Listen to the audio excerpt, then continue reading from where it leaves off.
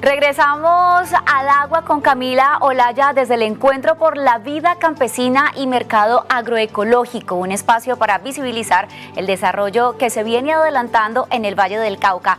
Camila, hola nuevamente. Cuéntenos por favor qué historias se ha encontrado en esa zona.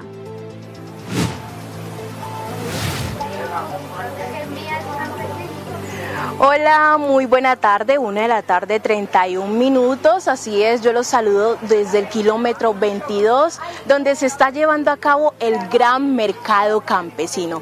Tengo que contarles que en este espacio alrededor de 30 líderes, emprendedores, productores, caficultores y demás de diferentes regiones del departamento del Valle del Cauca traen una demostración de los productos que se pueden cosechar y encontrar en nuestro departamento. Pero para hablar un poquito más de la importancia de este espacio y promover el agro, me acompaña Lolita Arias. Lolita es directora ejecutiva de la Fundación Utopia. Lolita, bienvenida a Telepacífico Noticias. Cuéntenos un poco la importancia de este espacio, por qué estamos reunidos.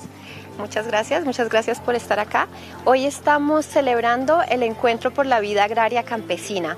Desde Utopia Lab, desde la Fundación Utopia Lab, queremos subrayar la importancia de la comunidad que se puede generar a través de las personas que estamos creciendo alimento orgánicamente, agroecológicamente, para cuidar la salud de la comunidad de nuevo. Somos conscientes de que somos dependientes de la tierra, del agua, de las semillas. Por lo tanto, convocamos a este encuentro donde convocamos a varias personas de la comunidad.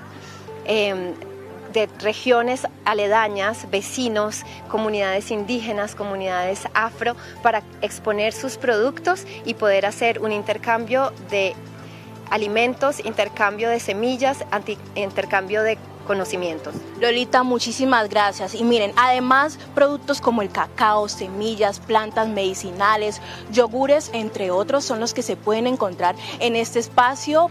Quiero aprovechar el momento. Bienvenida a Telepacífico Noticias. Cuéntenos un poco con qué productos nos encontramos. Con cúrcuma, macadamia. ¿Cómo es el proceso de producción? Bueno, a ver, la, la cúrcuma es un rizoma, sí, que se que, pues, viene a la, se siembra a la tierra. Este ya está para cultivar aquí, como lo ves, ya con el brotecito. Está ya listo para cultivar. Bueno, ya saben, la cúrcuma tiene muchísimas propiedades medicinales. Sí, es un antibiótico natural, es antiinflamatorio. Aquí este lo mi amiga lo prepara en polvo, en aceites, para tecitos también. La macadamia, esta pues originalmente es de Australia, pero aquí la están cultivando en el Cauca. ¿sí? Tiene mucha fuente de fibra y de grasas, omegas, es fantástico también. Muchísimas gracias. Otros espacios también se viven en este encuentro, como semilleros, eh, encuentros entre, entre, líderes, intercambio cultural, pero para hablar un poquito más de eso también me acompaña en este momento uno de los productores de cacao. Bienvenido a Telepacífico Noticias. Cuéntenos un poquito sobre el proceso de producción. Buenas tardes, les habla Jesús Alberto Caicedo.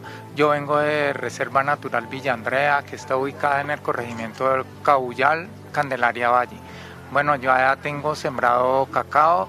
Como les decía, es una finca agroecológica y no solamente cacao hay, sino que hay de todo un poquito.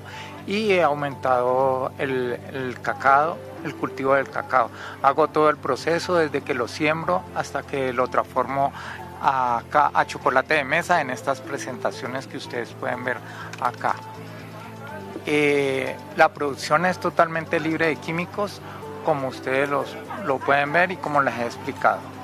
Muchísimas gracias. Y miren, les contaba, alrededor de 30 líderes campesinos, productores, se encuentran en este espacio y por eso yo quiero aprovechar uno de los campesinos que hace parte de las comunidades NASA de nuestro departamento. Bienvenido señor a Telepacífico Noticias, cuéntenos un poco sobre la cosecha de estos productos.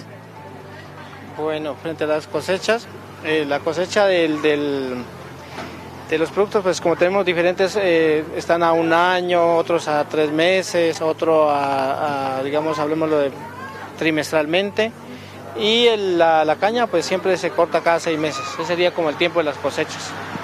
¿Alrededor de qué precios podemos encontrar aquí?